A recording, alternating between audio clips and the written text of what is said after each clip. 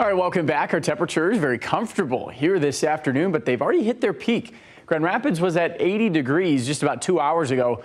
Now continuing to fall back into the mid 70s. We have our first 60 degree of the evening back to 69 in Whitehall, while it's 75 in Muskegon. The warmest air is mostly off to the east side of the state. Coldwater officially dropped back to 79, so there are now no more 80s here in West Michigan. Albion at the last one at 80, 77 in Hopkins, just 72 in Saugatuck, 73 in South Haven, but that's not stopping people from getting out to the beach this evening. South side of the piers, much safer to swim, even though we still have a yellow flag posted.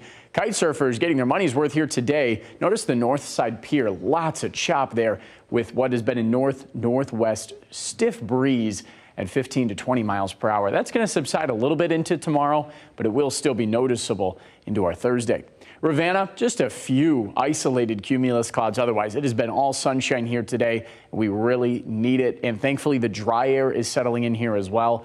Dew points continuing to fall. Our lowest of the day now a dew point of 48 in Big Rapids. Still a 60 in Benton Harbor, but from Benton Harbor to Hastings, it's kind of where the cold front has set up and low 50s to the north. It's only getting drier and drier here overnight tonight and into tomorrow. We'll all be right around 49 to 50 for a dew point. So really crisp, really refreshing. You can turn off the AC. It's windows open weather here for the next few days, really, probably three or four nights. That coolest air peaks here tomorrow will sort of moderate out into Friday and Saturday, but the dew points really don't climb back for a few extra days. And the warmest air really doesn't start to come back until Monday or Tuesday. So it's not overly significant here with our warming trend. It's just going to be slow and steady. Tonight, 54 degrees for the overnight low with the clear skies and calm winds. Again, winds are light out of the north, but it's radiative cooling that kicks in. So here's that wind. Tonight falls fairly quiet, nothing more than five to seven miles per hour.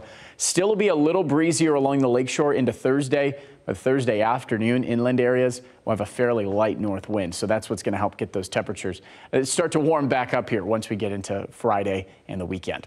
Uh, now to future track. Rain stays to the east in the state of Michigan here tonight. With that, most of the cloud cover is gone as well. We shouldn't see any clouds until probably midday, maybe early afternoon on Thursday. Just a few pop-up cumulus clouds, fairly seasonable uh, instance. It'll kind of come off the lake breeze here tomorrow. And then into Friday, more of the same, but expecting more sunshine on less pop-up cumulus clouds here for the next few days. So Friday is the sunniest. Thursday is the coolest, but we're still looking at three, potentially four nights in a row, falling back into the 50s. So really don't need the AC until we get to probably Sunday or Monday, at least consistently.